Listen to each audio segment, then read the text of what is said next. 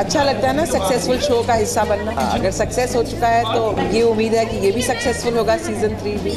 बहुत अच्छा लगता है। और ये भी अच्छा लगता है कि चैनल आपको बार बार चुनती है। धर्म जी बहुत अच्छे इंसान हैं। और बहुत जेन्युइन इंसान है, साफ़ दिल के और ऑनेस्ट इंसान है। तो मतलब इतने अच्छे हैं, वो is so nice to work with also मैंने उनके साथ पहले भी काम किया है। ऑलरेडी हमने ऑडिशन एपिसोड्स तो कर लिए हैं, बहुत अच्छा टैलेंट आया है। हिंदुस्तान इतना बड़ा देश है और इसकी आबादी इतनी ज़्यादा है कि यहाँ पर हर देश, हर प्रांत में अपने अपने टाइप का टैलेंट है।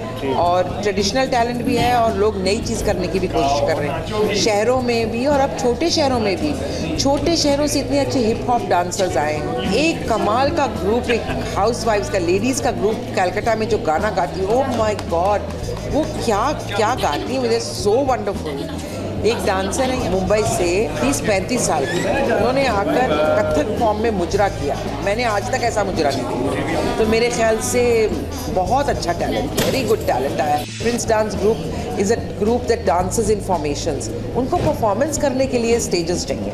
वो आकर फ़िल्मों में क्या करेंगे? आपके पास ऑलरेडी इतने डांस फिल्मी डांसिंग करेंगे। क्या तो हर हुनर का अपनी एक ओपनिंग है, जो उनको मिलती है, जिसके लिए वो काम करते हैं, जो वो करना चाहते हैं। ये कोई ज़रूरी नहीं कि हर इंसान सिर्फ़ फ़िल्म इंडस्ट्री ज्वाइन करना चाहे।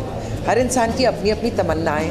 तो मैं ये बहुत स्ट्रांगली बिलीव करती हूँ कि ये ज़रूरी नहीं कि फ़िल्म इंडस्ट्री वाले ही सक्सेसफुल हैं तो वही सक्सेस है।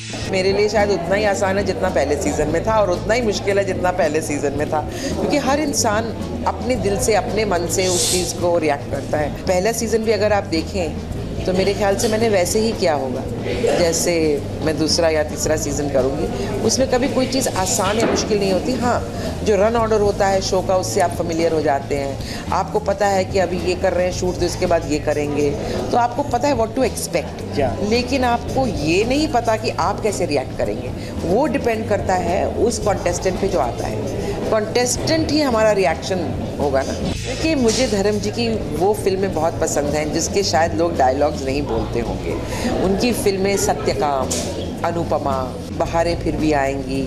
मुझे वो फ़िल्में बहुत अनपढ़ वगैरह बहुत अच्छी लगती हैं। वो टीवी पर आती हैं तो मैं ज़रूर देखती हूँ। वो मेरे बचपन की यादें हैं। लेकिन उन्होंने इतना अच्छा काम किया हुआ है। मुझे नहीं लगता कि एक्टर को सिर्फ़ डायलॉग बोलने से ही वो एक्टर होता है। मेरे ख्याल से उसका जो असली काम है वो उसकी फ़िल्में ही बयां करती हैं। इसके बारे में बस यही कहना चाहूँगी कि धर्म जी, आप बहुत अच्छे हैं, बहुत सच्चे हैं, बहुत प्यारे हैं और मुझे इतना गर्व है कि मैं आपके साथ इस शो में काम कर रही हूँ। जीते रहें, सौ साल से ऊपर तक आपकी उम्र हो और हमेशा खुश रहें।